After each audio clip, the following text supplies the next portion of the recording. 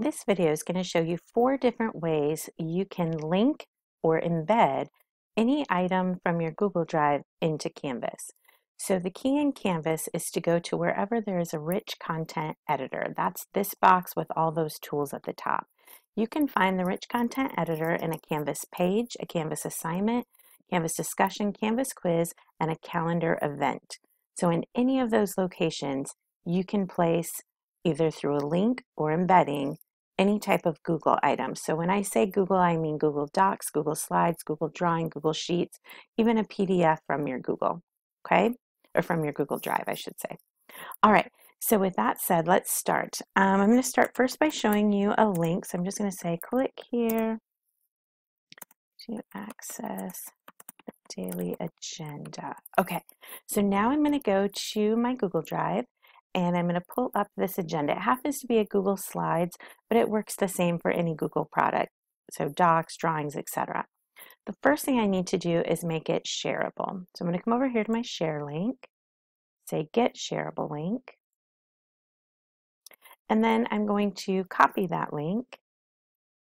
If I want, and then I'll say done. If I want to give the students the slides in this view, so in an editable type view. Now I only gave them viewable access. They would then have to file and make a copy if they needed to do something with it. But if I want it in this viewable, just like you see it here, that's what I do. But in this case, I don't necessarily want them to have this view. I want them to have a presentation view. So I still need to go to the shareable. I still need to make it so anyone at Westfield Washington Schools can view this. I still have to do those steps. But instead of copying this link, I'm going to come back here and I can do this two ways. I can copy the URL. Let me show you the first way. Then I'm going to come over here, highlight my words, click the link, paste it in. Now I want to get rid of everything to the word edit. And then I'm going to say present. That's going to give it to the students in a presentation mode, not an editable mode. I'm going to say insert link, and then let's just put it there. Okay, now to try it, we'll hit save.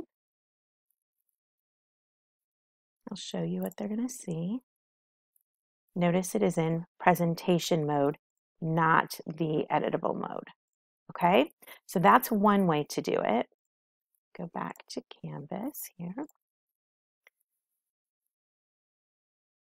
Okay, another way, let me get rid of this link. Another way we can do it is we'll go back to our slides. We can publish it. So we would come up here to File. We would say Publish to Web. And now we have two options with our published slides. We can link it or embed it. Let's just do the link. All we do is say Publish we copy this link, we come back here, and again, we highlight the words we want to link to, click our link icon, paste it in, and now it is linked. All right, but another thing we can do in our published mode is we can embed. So we can place this right inside of Canvas. So instead of sending students to click a link to go outside of Canvas, this shows it right inside of Canvas. So all I do is was on link, I choose embed, and I'm going to highlight the embed code and then copy it. And embed code you know, is kind of scary sounding, but it just means um, HTML, which is a code that the computer will figure for you. You don't have to do anything other than copy and paste it in. But it is an embed code, which means HTML. So you probably always wondered what this was. So this is where you're going to click it, paste in that code, and then to see it, you go back to the rich content editor and there are my uh, there's my Google Slides published view. I'm going to hit save so you can see what a student sees. So there it is. Now, students can use the arrow to click through or they can, you know, click their mouse to click through. But they now have your presentation inside of Canvas. It wasn't a separate link that took them somewhere else. This is perfect if you use, you know, Google Slides for lectures or agendas or anything. It's perfect for absent students, perfect for e-learning. It's just a, a great way to house your information right inside of Canvas. And again, you can do this in any rich content editor. So pages, discussions, Canvas calendar, event, etc. Okay, so we still have two more ways we can embed something. So let me get rid of that.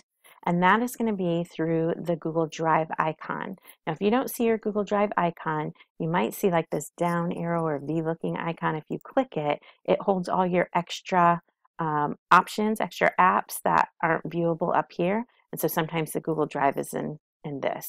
But mine is right here. So I'm going to go ahead and click it. The first time you do this, you'll have to choose your school Google and allow access. I've already done that, so my Google Drive is just going to come right up. So now find your Google item you want to place inside of Canvas. And again, it can be slides, sheets, drawings, docs. Since I already did slides, I'm going to go ahead and do a doc this time. All you do is click it. Once you click it, your options are going to be to embed or link. Let's do link first. I'm just going to click link.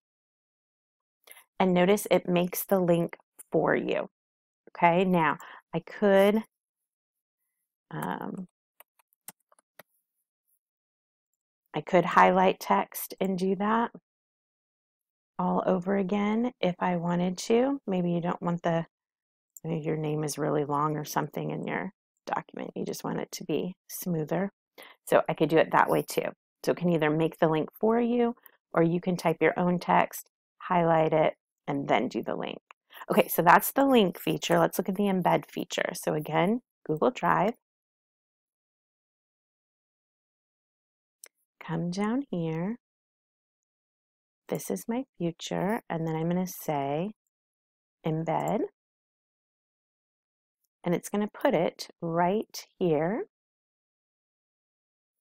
Again, let me hit save so you can see it as a student.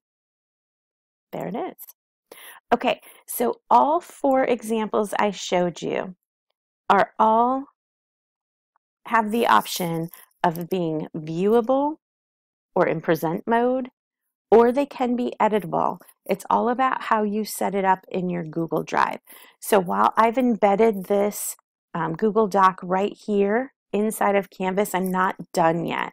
Right now, only I can see it because I only have access going to me. So what I'm going to have to do is go to my Google Drive, find that document, open it,